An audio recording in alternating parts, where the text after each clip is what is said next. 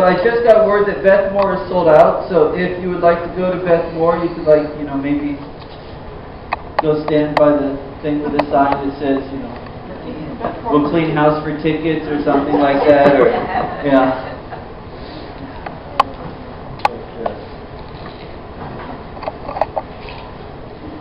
There will be many more opportunities. I'm sure she will come around again. So we, we last week, because it was Resurrection Sunday, I decided to skip ahead and, and go to the end and talk about his resurrection because there's so much about the new life that just makes everything worth having, makes everything worth giving, and without that new life, without new life, there is no reason to talk about the story. Without the resurrection, this should just be a dusty old forgotten book. But he lives. And so it left me, because I did that, it left me with a conundrum of, okay, I want to go back and I want to finish up Matthew, but what does that look like? And so, so I, I spent a lot of time in prayer and just trying to trying to decide what that looks like. And and as I was looking and as I was reading through, the Lord just said, I want you to talk about the way several different people responded. With the idea of how would you respond? Because really, we all have to respond to Jesus. And as we go out and, and we go into the community and we talk with people and we share our faith with people, they're going to respond in one of several ways, and they're not new ways. They're ways that people have been responding to Jesus for hundreds and, and hundreds of years.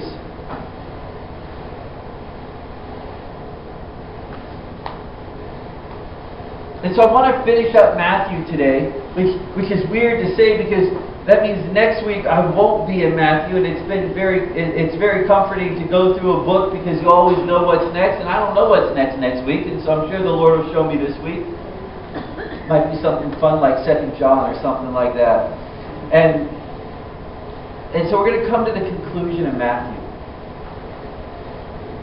By looking at the way people responded to on his road to the cross.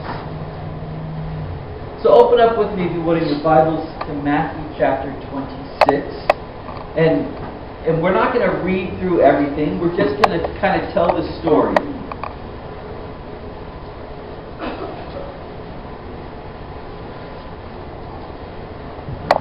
But Jesus has been betrayed by Judas. He's been taken into custody. And the first people that we see dealing with him are the Sanhedrin. And the Sanhedrin rejected Jesus. He was the Messiah. He was the one that was promised.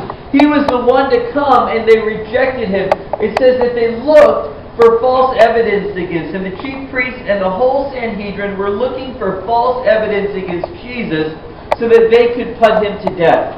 And the most amazing thing is that the Jewish judicial system was considered to be one of the most fair systems in the world. As a matter of fact, our judicial system is based on the principles, many of the principles of the judicial system in, that the Jewish people had established by the Lord. Because so many of the principles create a system of fairness. There were several things, though, that weren't adhered to because in the Jewish system, if you gave a false witness against somebody, you received their punishment that they would have gotten. So if you gave false testimony about somebody who was about to be put to death based upon your testimony, you would receive his punishment if it was discovered that you gave a false testimony. But yet it says that the Sanhedrin, the ones who kept this rule, were so caught up in their hatred and so caught up in the moment.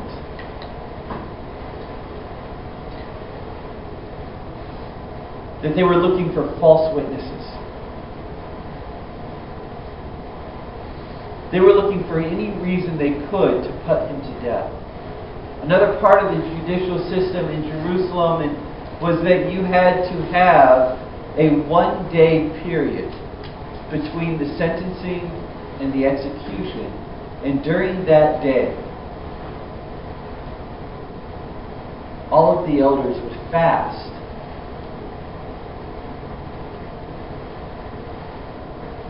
and pray to make sure to make sure that their decision was right. And one unique quirk they had was that if the if the courts, if, if all the elders ever decided in unison, unanimously, that someone should be executed, the sentencing was thrown out. Because they figured it was not a fair trial if every single person believed the person was guilty. But here on this day, it wasn't about fairness, it was about rejection. And so they said, Are you the Messiah? As they went through the trial, they couldn't find people who would give false evidence against Jesus that would stick. So finally, they asked him, Are you the Messiah? Are you the one who was promised to come? And he said, Yes.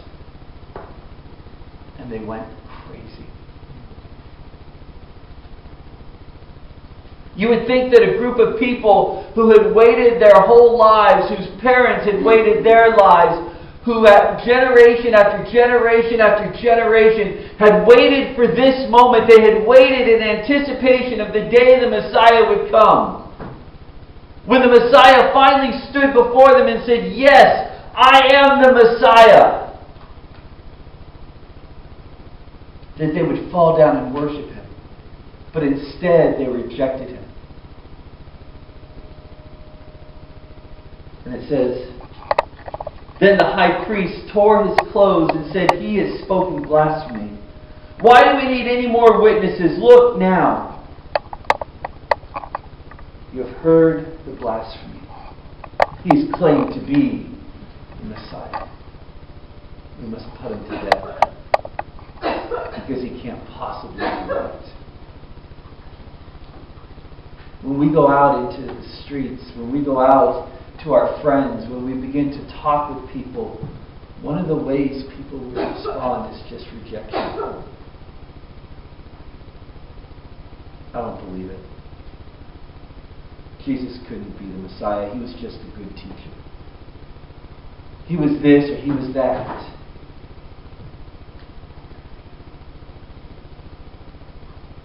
But he couldn't possibly be who he said he was. And you see, people like that answer. Because they understand that the moment that they claim that Jesus is who he says he is, they now have a responsibility to him. And that responsibility is what Peter understood.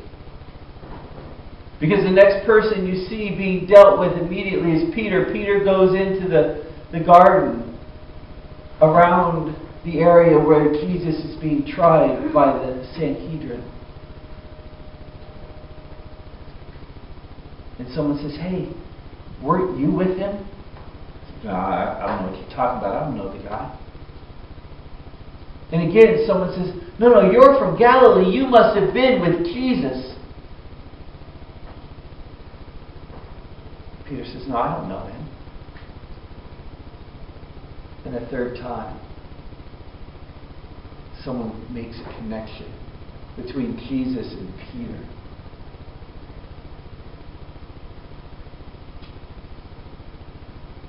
And Peter began to call down curses begin to get angry and shout his denial of knowing Jesus. But Peter was broken by him. Because it says, Then Peter remembered the word Jesus had spoken. Before the rooster crows, you will disown me three times. And he went outside and he wept bitterly. Peter's response is completely different than that of the Sanhedrin. We see the Sanhedrin just flat out rejecting who he is, and Peter having rejected him, saying, I don't know him, was broken. Because he did know who Jesus was and he understood who Jesus was. And what I love most about Peter's response is Peter's response shows a genuineness in understanding who Jesus is and who we are in relation to him.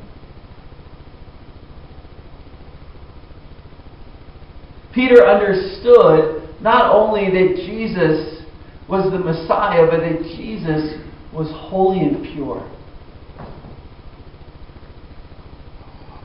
And he realized he wasn't. Why I love that word up there, grace. It's one of my favorite words. And one I try to apply in every area of my life. Because grace is what's given when it's not deserved. Grace is what's given when we haven't earned something, when we need something we can't possibly attain. God says, I'm going to give you grace. I'm going to give you what you don't deserve and what you can't get for yourself.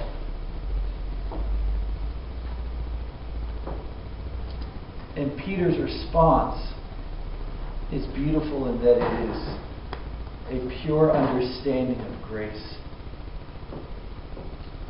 Peter wept because he realized that he was unworthy of who Jesus was.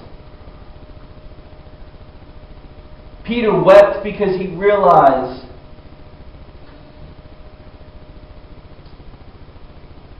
that he would never be that good. That he could never be as beautiful as Jesus. And he denied knowing him.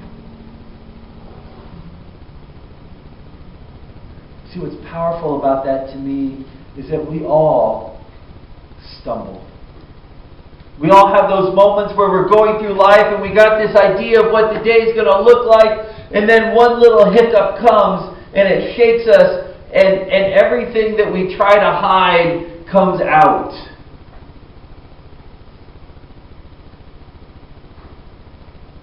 And we create a disaster. And then we look at Jesus. And we throw our hands, our face in our hands, and we just think, wow, how could I still be that way? Why do those days still happen?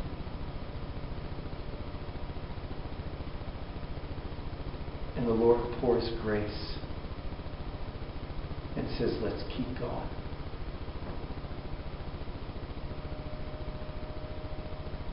I love that because as I look around the room, I see people just like me. People who need grace every day in their life. People who need someone to just say, yeah, we'll just forget that moment happened. Let's keep moving forward.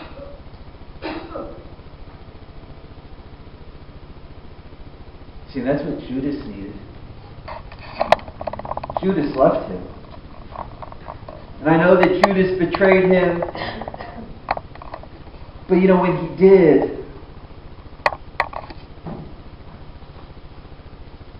he saw that Jesus was condemned.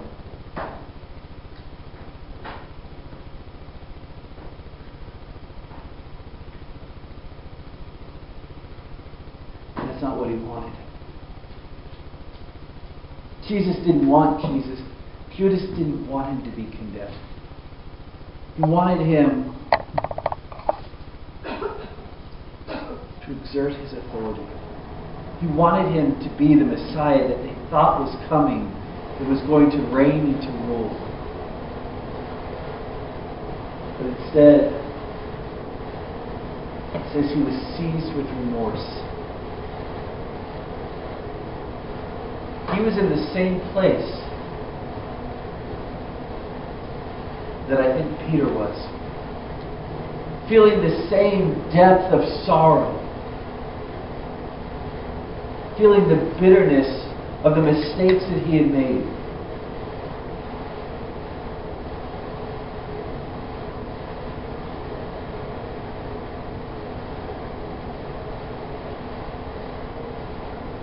But instead of instead of realizing there's forgiveness, it says that Judas went and he hanged himself. And I think having Judas's story next to Peter's story is important because I don't think Judas's story had to end the way that it did. Yet Jesus said, You know, it is better for that person who betrays me to have not been born. I think Jesus said that because he knew how Judas would end. Not because it had to end that way. And I just think, I mean, what if? What if instead of going to the Sanhedrin and throwing the money at them, and leaving and going to a field alone. Judas had went and found Jesus and fell at his feet and wept.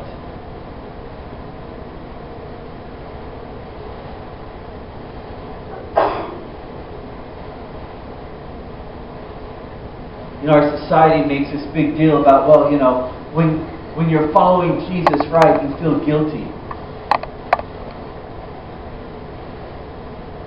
as if somehow we shouldn't sometimes feel guilty over the things that we do. And uh, society makes a big deal about that because society wants to live in a world that is free from the constraints of being of having someone explain that there are some things that are not healthy for you to do. But we understand that in life in so many things that we do. I'm sure that you would agree with me, driving in the middle of the night without your headlights on is an unhealthy thing to do.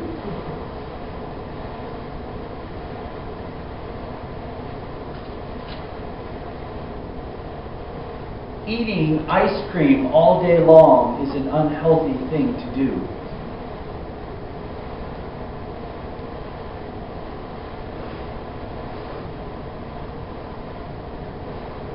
you know what? Lying is an unhealthy thing to do. Holding anger is an unhealthy thing to do.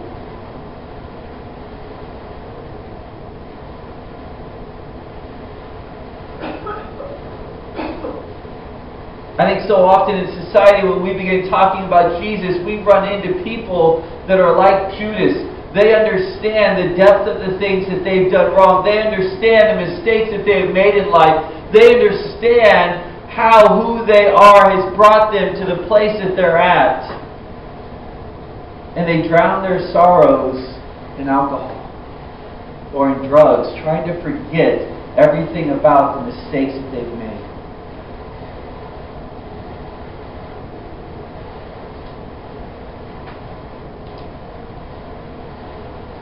last Sunday, Natalie and I went and saw I Can Only Imagine. And that picture describes Bart Millard's dad. Could not deal with the mistakes that he had made. And so he left Jesus.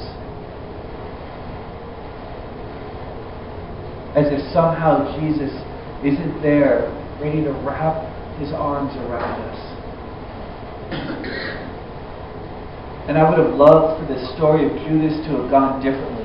I would have loved for Judas to have crawled to Jesus' feet and said, I'm sorry. Because I think there would have been a different response.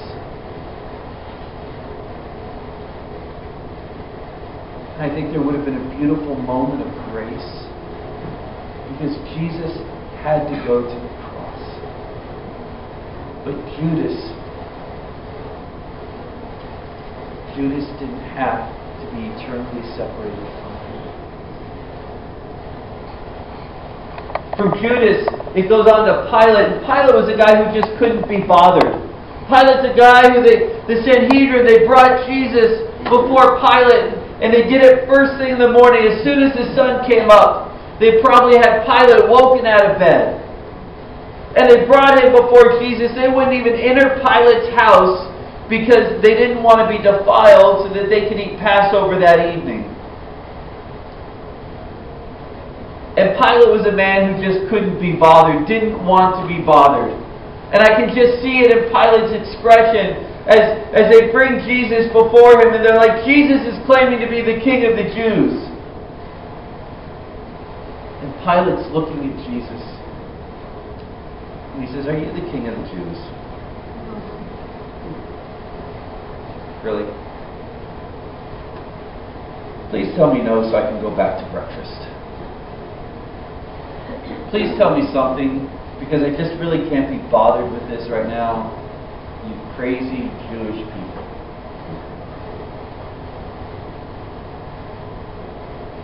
And really, what we see in Pilate is someone who just didn't want to be bothered at all with the trouble of who he was. And we encounter a lot of people, especially in the way society is now. We go out and we begin to talk about Jesus, and there's just a lot of people, you know what, I can't be bothered with who Jesus is. I don't really care. Whatever.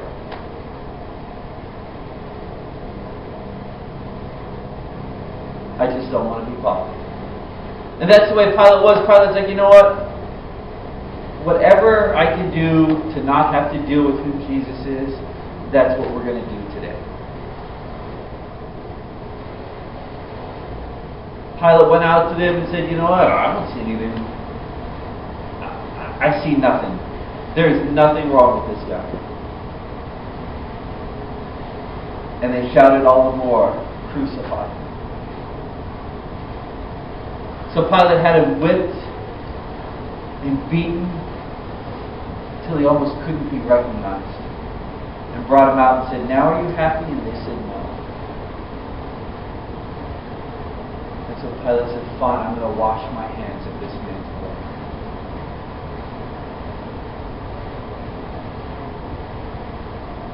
And they said, Probably the worst thing that could ever be said in response. Let his blood be on us and upon our children.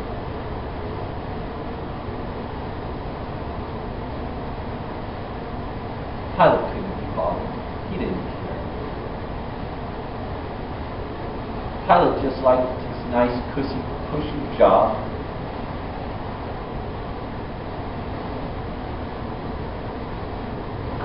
What he didn't like was having to deal with the Jewish people. He probably liked it less than Moses did because they were difficult and obstinate.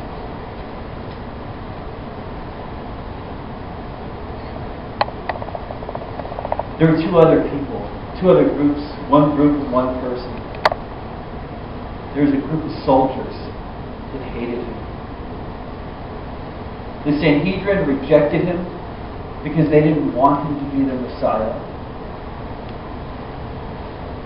Pilate just could care less, but the soldiers hated him. They spit on him, they mocked him, they beat him.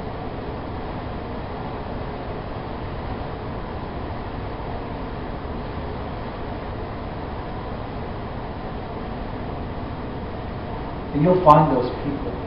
You will find people that genuinely hate you because of the name of Jesus in your life. You'll find people that hate you because of how you live. Because you live by a set of standards that are outside of you. Because you live by a code and you try to conduct yourself in a certain manner, there will be people that hate you. And they will come against you whenever they can.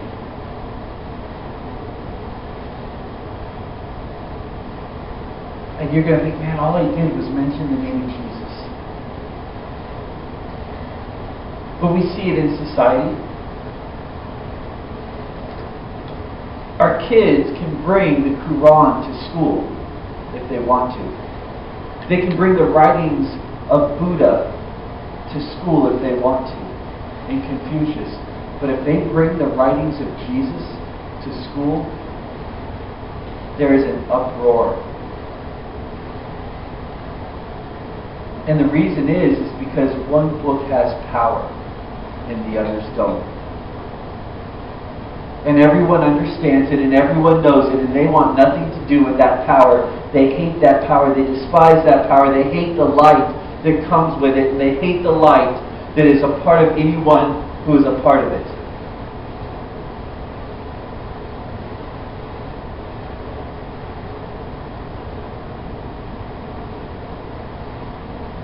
So they hated him. And there's one last man, his name is Joseph. After Jesus is placed on the cross, after he paid the price for our sin,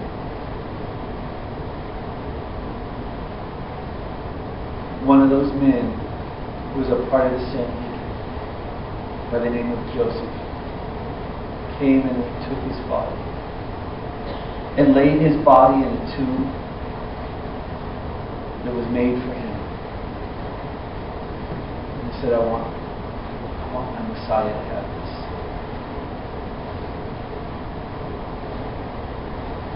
Joseph loved. And absolutely there were days where Joseph was like Peter and Peter like Joseph.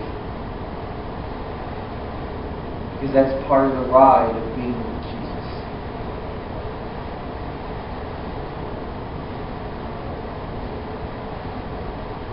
But how you respond to Jesus is what everyone has to. How are you going to respond to Jesus is a question that everyone has to answer. How would you respond? How do you respond today to Jesus? Absolutely, there are days like that I'm Peter. There are days I'm Joseph.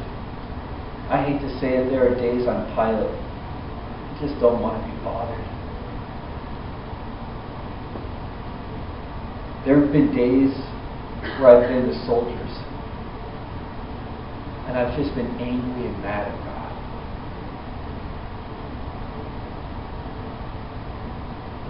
There are days I'm angry at His plan for my life. I'm angry at the things He's had me do. I'm angry for this. I'm angry for that. And I just want to be like the soldiers and take it out.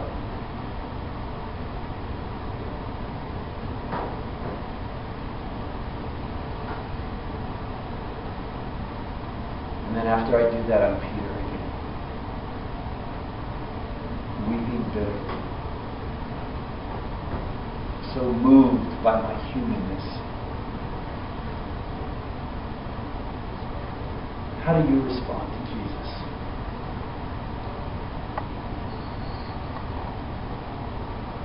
And really, that's the question we have for those that we know. How are you going to respond today? We are called to love.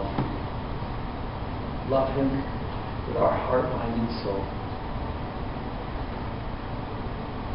And as we love Him, we have those moments that we're like Peter, and that's why that word grace is so important. Because everyone around us needs it. Everyone around us needs as much of it as we do. And we're called to give it we love. Let's pray. Heavenly Father, Lord, we come before you today and we we wrestle with that question. How do you respond to Jesus?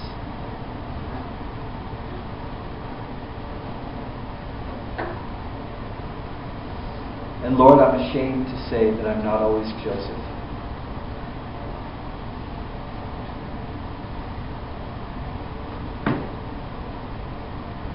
But Lord, I praise you for the moments that I'm like Peter. And you wrap your arms around me. And you walk me back to where I'm supposed to be. Father, may we enjoy your arms of grace.